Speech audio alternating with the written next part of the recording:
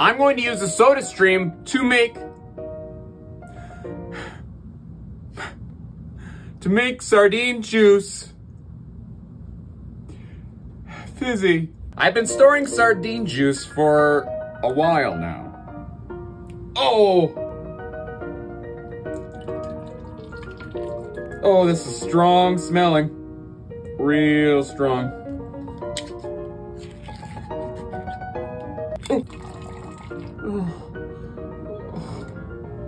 No streaming.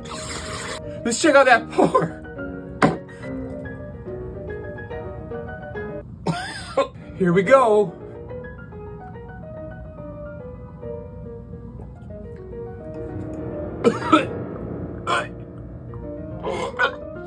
Let's fail. Suck it.